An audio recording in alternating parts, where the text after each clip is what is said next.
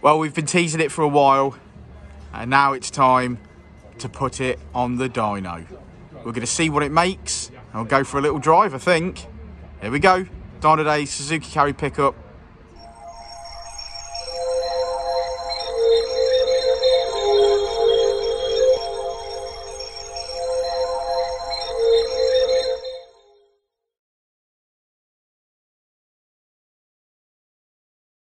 Right, well, I'm getting comfy in the Suzuki Carry. This is Sarah. Hello, Sarah from Hi. Inky Moles. How are you doing? Good. It's the young lady that does all our artwork on the walls at Dynodaze. So for both Dynodaze and Dynodaze Uncle Keith's paint shop.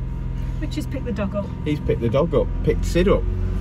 So we're in the Suzuki Carry, and uh, are we going to explain why we're making this video, Sarah? Because uh, a nice young man called Paddy, Paddy. is is bought it and he's about to come and pick it up. So this is a, This like a, this is like the the last the last ride. Yeah. And we didn't we didn't know he was going to get it today, and he is. So we thought it'd be lovely to capture the last little hoon. So we're going out for a bit of a rock and roll in it. So here we go.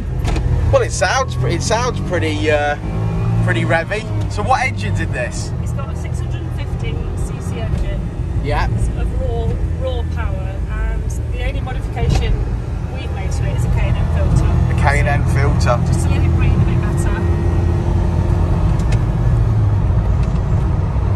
Well, it goes, don't it? It goes, it purrs like a sewing machine. Like a sewing machine. Yeah, so it's completely content. We've had it up to 80 something miles an hour and it's got 80 miles in that. Eight. Yeah. I'm getting my seat. I'm making sure my seatbelt's on. And uh, we think it came out of the factory with about 39 horsepower. About 39 horsepower. Yeah.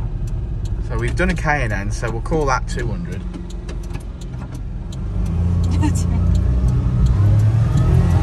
Check you out. Handed it over with a full tank of fuel. yeah, I know. Absolute maximum generosity. Oh, here we go. Hold on to your horses. So we, we are really pleased that Paddy's having it because he's a, a local chap. And, A uh, local chap. He's What? a fr- friend of a friend and he, he loved the van from the minute he saw it. So So with, pa- with Paddy being a local lad, that you'll see this again, this van perhaps? I think there's a good chance we will, yeah, because because Paddy's uh, a, a friend of a friend as well. I think there's a good chance we'll we'll see this this little truck again. Fantastic. I don't quite know how I feel about that. Whether that's a good Now, thing, what, thing, what have you thing. guys been using it for? Because it is a, well, it is a, a flatbed. It's got some uses. Or Yeah. ha- have you just been loving it and driving it as opposed to actually using it as a workhorse? A bit of both. A bit of both. We've been loving it and driving it, polishing it, under seal it, obviously. I getting remember it getting under minty. Yeah. But yeah. um, it's carried wood from the woodshed. It's carried all the paint down. so it really has served a purpose. And do, Absolutely, yeah. and do we know what it's getting used for? A similar sort It's of It's going to be a daily. a daily. He wants it as a daily. He Yeah. lives um, in a Leicestershire village and Yeah. he has to drive through two more Leicestershire villages Oh, to get to work. So he wants to. So it's a nice little Daily. daily runner. Any good on fuel? Um, it's not as cute and economical as you might imagine. as you might imagine. But then again, you know, you are giving it a little bit. Or, you know, you're definitely We try to. you're definitely throwing it into these corners. With, Yeah, we, you have to. Driving this reminds me of um, our first three cars were 2CVs. Two first four cars CVs. were two CVs. And you had to drive those really hard. You couldn't pussy foot around. You had No, to get you your had to- foot in, throw it into a corner. You had to drive get quite, stuck in. Yeah, quite um, decisively. Yeah. And this reminds me of that. Well, do you know what? Before it goes, shall we put it on the dyno and see what it's actually putting out? We could. We could do. I, I think that would be nice. It'd be nice end to the video to see what power she's actually put out. It's going to look cute on the dyno, isn't it? I think it'll look very cute. Will it be the smallest thing you've ever had? Uh, there's a joke there somewhere, but I think I think we've had a Robin Reliant on the dyno in the past. No way. Yeah, yeah, and the wheel went in the middle of the ramp, so the two rear wheels came climbed up the ramp because of the rear wheel drive, and the front wheel stayed on the floor. And what was it making? I think it made about 40 brake horsepower. It's not to be sniffed at. It's not. And what do we think this is? Stock Uh, 63. we think it came out with 39. 39. There could be a record beaten today. There could be. we'll get out the traffic jam first. Yes, let's. Uh, what what we're going to do is we're going to get out this traffic jam, film a little bit of driving again, and then we're going to go and stick it on the dyno. Yeah. Sounds good, don't Yeah, it? we could look at some of the lovely details on the dash in the meantime, like the stock. I'd have missed these Audio. things. Let's have a look. Stock radio. Now, I do notice there's no speakers in the door cards. So am I to think that is the speaker? Yeah. One speaker. What one speaker? Tape cassette or just radio? Just radio. Just radio, one speaker. What more do you need? But a new car is definitely up there along with the holiday. Uh, Yeah. Speaking of which, Chaz has been in touch, soaking up the That is a sunshine in radio. Tenerife earlier this. It's got some nice. Great music going. However, you are spending your Nice weekend. switches. Classic Queen on the way, and a track.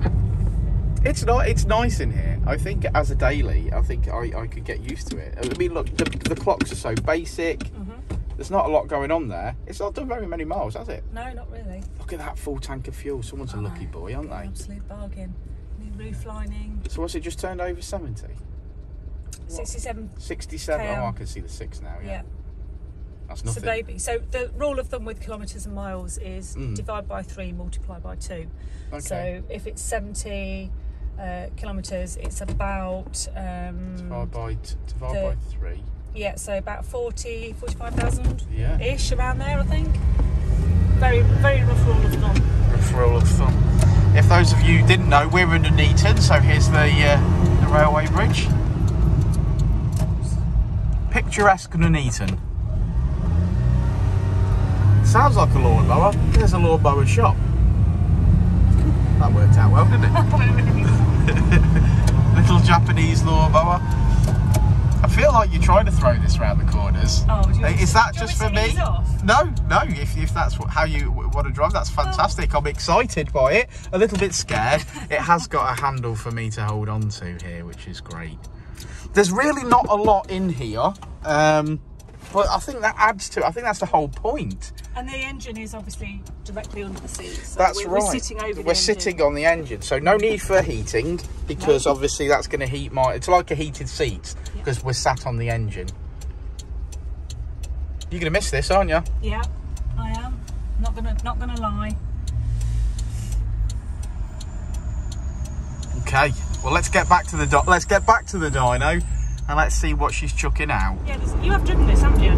I've not driven Do you it. want to drive it? No, You can do. no, I'm, I'm, I'm good. I'm I mean, good. Well, I felt like we were really close to that Range Rover then, and realised there's no bonnet. There's, Where, where your feet are, that's the edge of the vehicle. that's the edge of the vehicle there. Yeah, yeah, it. I felt like we were really close to that, like panicky close, but there is nothing in front of me.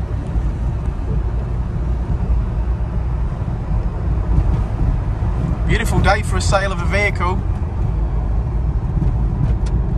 Well, I certainly enjoyed my ride out in this funky little thing. Little bit scary, only grabbed the handle once or twice as Sarah tipped it into the corners.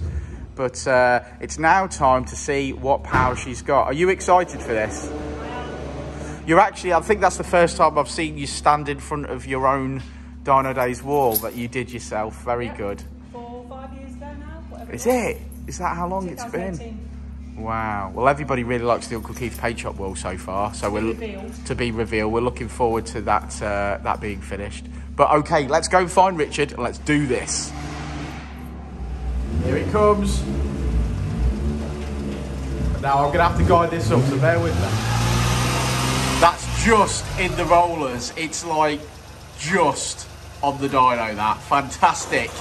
Let's see what power she puts out. I better find somewhere to strap it.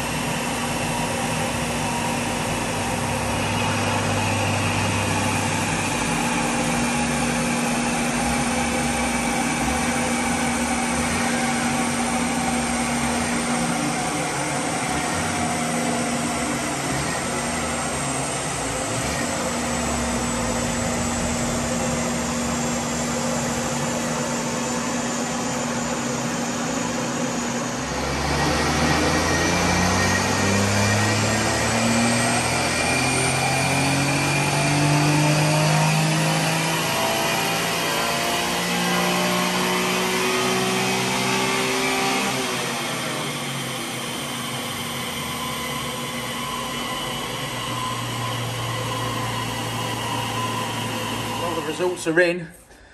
Almost looks like an, an inverted paragraph to me, but uh, what do I know? Here we go. It made 35 brake horsepowers and 44.9 foot pound.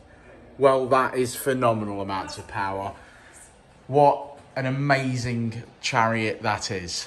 So, uh, anyway, I hope you've enjoyed that. I hope you enjoyed that video. Like and subscribe and all that jazz. Thanks for sticking around to the end. Hey, Rich. Do a skid. Do a skid. We'll see you on the next one.